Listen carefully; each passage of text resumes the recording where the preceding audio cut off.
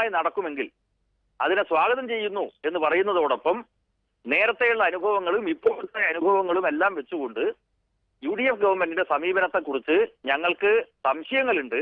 അതുകൊണ്ട് കാലം തെളിയിക്കേണ്ടതാണ്.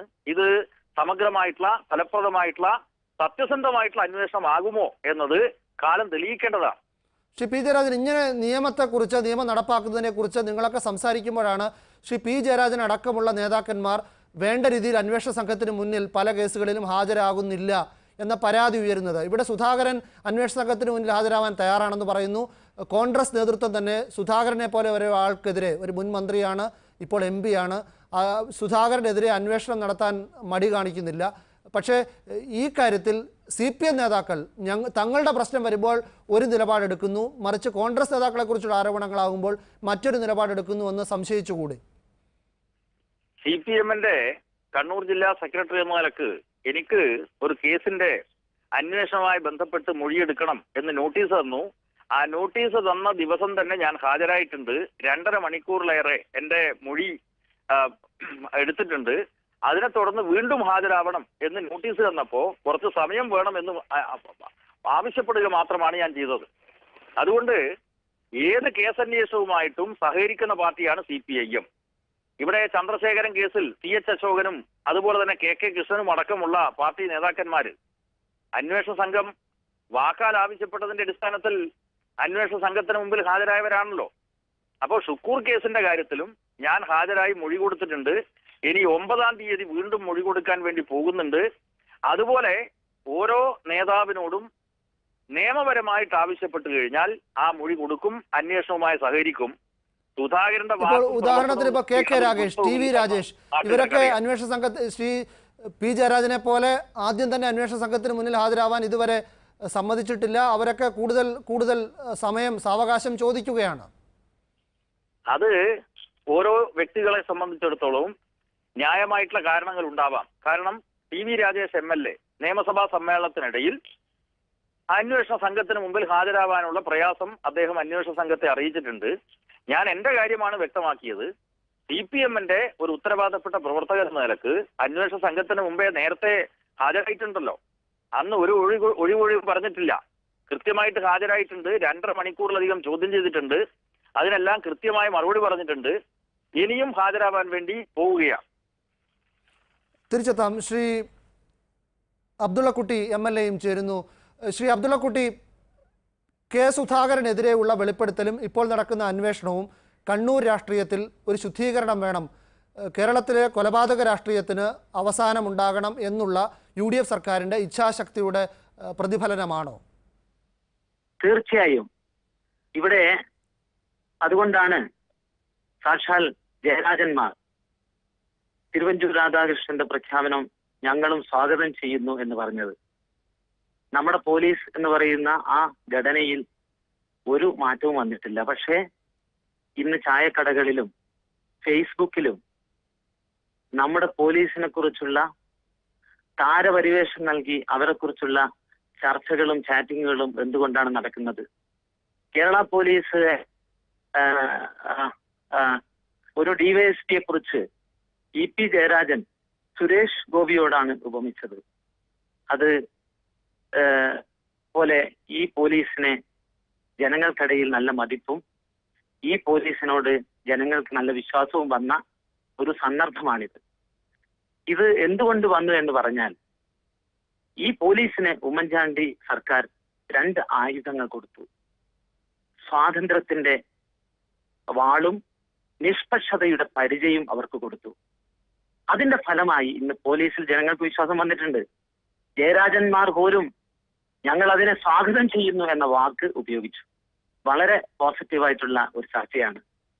കണ്ണൂരിലെ അക്രമ രാഷ്ട്രീയത്തിന്റെ ചരിത്രം മൊത്തം പോസ്റ്റ്മോർട്ടം ചെയ്താൽ നമുക്ക് മനസ്സിലാക്കാൻ സാധിക്കും. വടക്കൻ മലബാറിൽ രണ്ടര പതിറ്റാണ്ടിനിടയിൽ മരിച്ചു വീണത് മുന്നൂറോളം ആളുകളാണ്. സേവറി ഹോട്ടലിൽ നിന്നാണ് മരിച്ചതിലും അതുപോലെ തന്നെ അക്രമത്തിൽ പരിക്കേറ്റവരിലും എല്ലാം വിഷമവും സങ്കടം നമ്മളിപ്പോഴത്തെ പൊതുപ്രവർത്തകർക്കുണ്ട്. ശ്രീ അബ്ദുള്ളക്കുട്ടി ആ കണക്കിൽ കോൺഗ്രസിന്റെ പങ്കുമില്ലേ? തീർച്ചയായും ഒരു പ്രതിരോധം എന്ന നിലയിൽ കോൺഗ്രസിന്റെ ഭാഗത്തു നിന്ന് ചില തിരിച്ചടികൾ ഈ ഘട്ടത്തിൽ പല ഘട്ടത്തിലും ഉണ്ടായിട്ടുണ്ട്. കോൺഗ്രസിന്റെ ഭാഗത്തുനിന്ന് മാത്രമല്ല മുസ്ലിം ലീഗിന്റെ ഭാഗത്തു നിന്ന് ബി ജെ പിന്റെ ഭാഗത്തു നിന്ന് തിരിച്ചടികൾ ഉണ്ടായിട്ടുണ്ട്. പക്ഷേ എല്ലാ കേസുകളുടെയും പോസ്റ്റ്മോർട്ടം നടത്തി നമുക്ക് കാണാൻ സാധിക്കുന്നത് ഒരു വശത്ത് സി പി എം നിലനിൽക്കുന്നു. പി എം സഹിഷ്ണ അസഹിഷ്ണുതയുടെ ഒരു ഫാസിസ്റ്റ് രാഷ്ട്രീയ ലൈനിന്റെ ഭാഗമായിട്ടാണ് ഈ സംഘർഷങ്ങളെല്ലാം ഉണ്ടായിട്ടുണ്ട് എന്നുള്ള അബ്ദുള്ളക്കുട്ടി അതായത് ഈ സേവറി ഹോട്ടൽ ബോംബേർ ആണെങ്കിലും നാണുവിനെ കൊലപ്പെടുത്തിയ സംഭവം കോഓപ്പറേറ്റീവ് പ്രസിൽ പ്രശാന്തിനെ വെട്ടിപ്പരിക്കേൽപ്പിച്ച സംഭവമാണെങ്കിലും ഇ പി ജയരാജന് നേരെ നടന്ന വധശ്രമമാണെങ്കിലും ഒക്കെ ഒരു പ്രതിരോധത്തിന്റെ ഭാഗമായി കോൺഗ്രസ് നേതാവ് സുധാകരൻ ആസൂത്രണം ചെയ്തതാണെന്ന് ശ്രീ അബ്ദുള്ളക്കുട്ടി വിശ്വസിക്കുന്നുണ്ടോ? അല്ല ഞാൻ അങ്ങനെ ഒരു അങ്ങനെ ഒരു പരാമർശം വിനു ഞാൻ അങ്ങനെ ഒരു പരാമർശം നടത്തിയിട്ടില്ല. പക്ഷേ വളരെ സ്പോണ്ടേനിയസ് ആയിട്ടുള്ള പ്രതികരണങ്ങളും പ്രതിരോധങ്ങളും കണ്ണൂരിലെ പാർട്ടി ഗ്രാമങ്ങളിലെ കള്ളവോട്ടിനെതിരെ അക്രമത്തിനെതിരെ സ്വാഭാവികമായും പലതും വളരെ ഓർഗനൈസ്ഡ് തിരിച്ചടികളാണെന്നും പറയാൻ സാധിക്കില്ല. ഏതായാലും സുധാകരൻ പോലും സ്വാഗതം ചെയ്ത ഒരു നിഷ്പക്ഷമായ അന്വേഷണം അതിലും നടക്കണം ഇതിലും നടക്കണം. കേരളത്തിലെ പോലീസിൽ അവരുടെ ഇന്നത്തെ പ്രവർത്തനത്തിൽ നല്ല മതിപ്പ് ജനങ്ങൾക്കുണ്ട്. സുധാകരനും കൂടി സ്വാഗതം ചെയ്തിരിക്കുകയാണ്. പക്ഷെ ഇതേ നിലപാട് പി ജയരാജൻ എടുക്കണം. അവിടെ വടകരയിൽ കോടതിക്കെതിരെ ഡിവൈഎഫ്ഐക്കാർ അയച്ചിട്ട് കല്ലെറിയിച്ചു. അവിടെ പോലീസിനെതിരെ ഭീഷണി നടത്തി. ഇളമരം കരിയും പ്രസംഗിച്ചു. തലയുണ്ടാവില്ല. തലയിൽ തൊപ്പി വെക്കാൻ പറ്റൂല എന്നൊക്കെ പ്രസംഗിക്കുന്ന ആ ശൈലി മാറ്റി. ഇപ്പോൾ സുധാകരനും കോൺഗ്രസ് ലീഡർഷിപ്പും എടുത്തിട്ടുള്ളത് പോലെ ഈ വിഷയത്തിൽ ഒരു സ്വതന്ത്രമായ അന്വേഷണം നടത്തട്ടെ. ആ വിധത്തിലുള്ള സമീപനം സി പി എം പുതിയ ഒരു മാറ്റം ഉണ്ടാക്കും എന്നാണ് ഞാൻ വിശ്വസിക്കുന്നത്. അതുകൊണ്ട് കെ കെ രാഗേഷും ടി വി രാജേഷും നിയമസഭ ഇപ്പൊ നാല് ദിവസം അവധിയാണ്. നാളെ നിയമസഭയില്ല. മറ്റന്നാൾ നിയമസഭയില്ല. എന്തുകൊണ്ട് ടി വി രാജേഷ് അതുകൊണ്ട് പോലീസുമായി സഹകരിക്കണം. കാരണം ഷുക്കൂറിന്റെ വധം വളരെ വളരെ പരിതാപകരമായ ഒരു വാർത്തയായിരുന്നു. ഒരു സംഭവമായിരുന്നു. അപ്പൊ ആ കേസുമായി സഹകരിക്കാൻ എന്തുകൊണ്ട് രാജേഷ് തയ്യാറാകുന്നില്ല? കുഞ്ഞനൻ തന്നെ ഒളിവിൽ താമസിപ്പിച്ചത്. അതിന്റെ തെളിവ് പോലീസിന് കിട്ടിയിരിക്കുന്നു. കെ കെ രാകേഷ് എന്തുകൊണ്ട് ഹാജരാകുന്നില്ല? അപ്പോൾ സുധാകരൻ എടുത്ത നിലപാട്? സി പി എമ്മിന്റെ നേതാക്കൾ എടുത്തിട്ടില്ല എന്നുകൂടി നമ്മൾ മനസ്സിലാക്കേണ്ടതുണ്ട്. തിരിച്ചതാം ശ്രീ പി ജയരാജൻ മൂന്ന് സംഭവങ്ങളുടെ കാര്യമാണെങ്കിലും ഇപ്പോൾ പ്രശാന്ത് ബാബു വെളിപ്പെടുത്തിയ സംഭവങ്ങളുടെ കാര്യമാണെങ്കിലും അതൊക്കെ സുധാകരൻ ചെയ്തത് അദ്ദേഹത്തിന്റെ അനുയായികൾ ആക്രമിക്കപ്പെട്ടപ്പോൾ അതിന് തിരിച്ചടി എന്ന നിലയിൽ പ്രതികാരം എന്ന നിലയിലാണ്. അതുകൊണ്ട് സുധാകരനെ കണ്ണൂർ രാഷ്ട്രീയത്തിലെ അക്രമ രാഷ്ട്രീയത്തിന്റെ ക്രിമിനൽ രാഷ്ട്രീയത്തിന്റെ വക്താവായി പ്രതിനിധിയായി കാണുമ്പോൾ ഇപ്പുറത്ത് അതിന് സുധാകരനെ പ്രേരിപ്പിച്ച സംഭവങ്ങൾ സി പി എമ്മിന്റെ ഭാഗത്തുനിന്ന് ഉണ്ടായിട്ടുണ്ട് എന്ന സത്യം മറച്ചുവെക്കാനാവുമോ ആ വിനു ഒരു കാര്യം വ്യക്തമാക്കേണ്ടതുണ്ട്. ഏഷ്യാനെറ്റ് നടത്തുന്ന നിരവധി ചർച്ചകളിൽ ഞാൻ സി പി എമ്മിനെ പ്രതിനിധീകരിച്ച് പങ്കെടുത്തിട്ടുണ്ട്. അതിലെല്ലാം തന്നെ ഉത്തരവാദപ്പെട്ട മറ്റു പാർട്ടികളുടെ നേതാക്കന്മാരെയാണ് നിങ്ങൾ ക്ഷണിക്കാറ്. ഈ കാലുമാറ്റത്തിന്റെയും അധാർമിക രാഷ്ട്രീയത്തിന്റെയും വക്താവായിട്ടുള്ള ഈ വ്യക്തിയെ ഈ ചർച്ചയിൽ പങ്കെടുപ്പിച്ചത് ഉചിതമായിട്ടില്ല.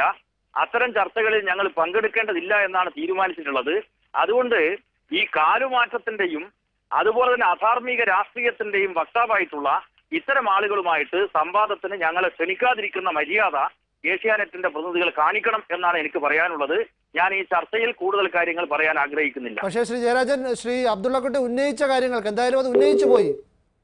ശ്രീ പി ജയ പി ജയരാജൻ ഇല്ല. ശ്രീ അബ്ദുള്ളക്കുട്ടി ശ്രീ അബ്ദുള്ളക്കുട്ടിയോട് സംസാരിക്കുന്നില്ല എന്ന നിലപാട് പല ഇലക്ഷൻ തെരഞ്ഞെടുപ്പ് സമയങ്ങളിൽ ഉൾപ്പെടെ ശ്രീ പി ജയരാജൻ ഉൾപ്പെടെയുള്ള നേതാക്കൾ പ്രകടിപ്പിച്ചിരുന്നു. ഇപ്പോൾ ഒരിക്കൽ കൂടി അത് വ്യക്തമാക്കുകയും ചെയ്തിരിക്കുന്നു. പക്ഷേ ഇവിടെ പ്രതിരോധത്തിനായി സുധാകരൻ ചെയ്ത പ്രവർത്തനങ്ങളെന്ന് പ്രശാന്ത് ബാബു പോലും ഈ പ്രവർത്തികളുടെ കാര്യം വെളിപ്പെടുത്തുമ്പോൾ പറയുന്നുണ്ട്. ശ്രീ അബ്ദുള്ളക്കുട്ടി അടക്കമുള്ളവർ സി പി എം ഭാഗത്ത് നിന്നപ്പോൾ അപ്പുറത്ത് നിന്നപ്പോൾ സുധാകരന്റെ ഈ പെരുമാറ്റത്തെക്കുറിച്ച് ഇതേ രീതിയിലുള്ള വികാരം പ്രകടിപ്പിച്ചിട്ടില്ലേ? ആദ്യം പി ജയരാജൻ എടുത്തിട്ടുള്ള ഈ അസഹിഷ്ണുതയുടെ ഒരു സമീപനത്തെ കുറിച്ചാണ് എനിക്ക് പറയാനുള്ളത്. ചെറിയ ഫിലിപ്പ് കൈരളി ടി വിയിലെ പ്രധാനപ്പെട്ട ചർച്ചക്കാരനും സംവാദക്കാരനുമാണ്. അദ്ദേഹം ബുദ്ധിജീവി അദ്ദേഹം ചിന്തകൻ. അബ്ദുള്ളക്കുട്ടി കാലുമാറിയാൾ ചതിയൻ. ഈ സമീപനം പി. ജയരാജനെ പോലുള്ള ആളുകൾ മാറ്റണം. ഏഷ്യാനെറ്റിനെ പോലുള്ള ഒരു മഹത്തായ സ്ഥാപനം എന്റെ പങ്കാളിത്തം കൊണ്ട് ആ ചർച്ച ആരോഗ്യകരമാകുന്നില്ല എന്നുള്ള ഒരു വിഷമം പോലും ഞാൻ മനസ്സിലാക്കുകയാണ്. ദയവേത് വിനു ഇനിയുള്ള ഇവരോടുള്ള ചർച്ചയിൽ എന്നെ ഒഴിവാക്കുന്നതായിരിക്കും ഏഷ്യാറ്റിന് നല്ലതെന്നാണ് എനിക്ക് പറയാനുള്ളത്. പക്ഷേ ഈ അസഹിഷ്ണുതയുടെ രാഷ്ട്രീയമാണ് പി ജയരാജന്റെ ഈ അസഹിഷ്ണുതയുടെ രാഷ്ട്രീയമാണ് കണ്ണൂരിൽ സംവാദം ഇല്ലാണ്ട് ഇവിടെ ഉണ്ടാകുന്ന അവസ്ഥ സൃഷ്ടിക്കുന്നത്. തീർച്ചയായും ഇരുപത്തഞ്ച് കൊല്ലക്കാലം സി പി എം പ്രവർത്തിച്ച ആളാണ്. ബിനു ചോദിച്ചു അന്ന് ആരെയും തല്ലാനും കൊല്ലാനും ഞങ്ങൾ പോയിട്ടില്ല. എന്റെ ലോക്കൽ കമ്മിറ്റി സെക്രട്ടറി കാണികൃഷ്ണൻ ഞങ്ങളെ പഠിപ്പിച്ചത് കൊള്ളലാണ് ത്യാഗം കൊടുക്കലില്ല. ആ വിധത്തിൽ ഞങ്ങളുടെയൊക്കെ ഗ്രാമത്തിൽ പൊതുപ്രവർത്തനം എന്ന് വെച്ചാൽ ആളുകളോട് മര്യാദയ്ക്ക് പെരുമാറുക പാവപ്പെട്ട ആളെ സഹായിക്കുക അങ്ങനെ ഉള്ള ഒരു രാഷ്ട്രീയ ശൈലിയാണ് ഞങ്ങളുടെ കമ്മ്യൂണിസ്റ്റ് പാർട്ടി പ്രവർത്തനത്തിന്റെ രീതി. പക്ഷേ പി. ജയരാജന്റെ കൂത്തുപറമ്പിലും പാനൂരിലും തലശ്ശേരിയിലും അങ്ങനെയല്ല അതിപ്പോ ഒഞ്ചിയത്തേക്കും വ്യാപിച്ചിരിക്കുകയാണ്. ഈ അസഹിഷ്ണുതയുടെ അക്രമ രാഷ്ട്രീയത്തിൽ നിന്ന് ഇവർ മാറാതെ ആവില്ല. നന്ദി Shri A P Abdullakutty. Shri P Jayarajan Shri